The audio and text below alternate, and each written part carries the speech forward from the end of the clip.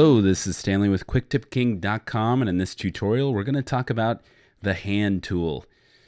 Uh, yeah, the hand tool. Everyone's favorite. All right, let's go to our tool belt. Let's head on down to hand or hit H on our keyboard. And here's our hand.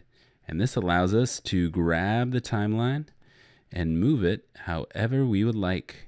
Kind of as a weird opposite. And uh, doesn't seem to do much up here. But yeah, I don't know why you'd ever use this, but it's there. So good luck.